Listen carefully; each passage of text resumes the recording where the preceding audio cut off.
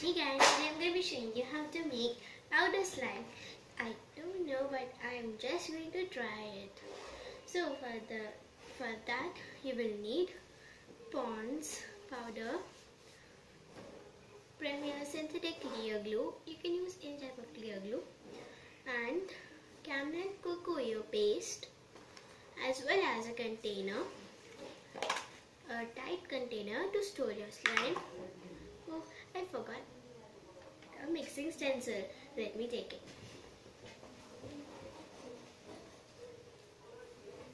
I got it. I'm using a brush for that, but I'm not using this front part. I'm using the back part. So let's get started. First you will need is a container. It needs to be clean. Then pour your synthetic glue.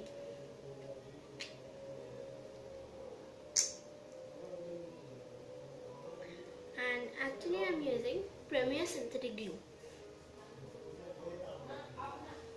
Right? Pour as much as you want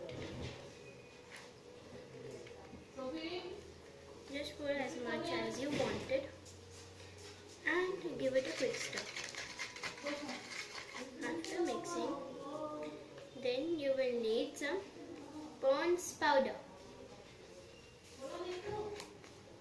and pour it. Pour just a little bit in the beginning and mix it nicely. Mix it nicely. Don't make it as a dough. We don't need a dough. Mix it nicely. So every every powder, every powder chunk or powder dissolves inside it. It should look something like this. It is as light pink colored, but it's not a clear slime. Now time for your Camlin Cocoa paste.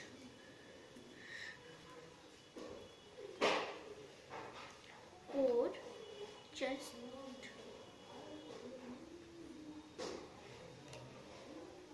pour your Camlin Cocoa inside. This much would be enough. And mix nicely. Mix it nicely. Our slime is forming. Look at this. It's really forming. Mix it nicely so it forms a very nice and soft slime. Pour as much powder as you want, but glue needs to be more in the quantity of the powder. Yes, it's not sticky and I can play with it. Wow, it is so stretchy and soft. Look at this. I think I should mix a little bit more Camlin and I should mix it. Mix it well so your slime becomes a soft and nice slime. And when you feel that it's much sticky, just pour a little bit of powder. Just a little bit will work. And a little bit of glue. Done just a little bit. As much as you need.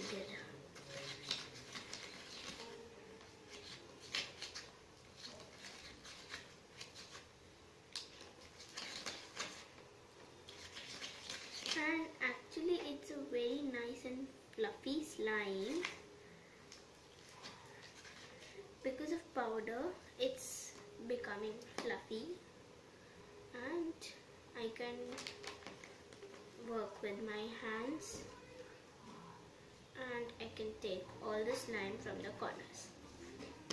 And here's my slime it's so soft and stretchy. It has a nice beautiful color too. Look at this.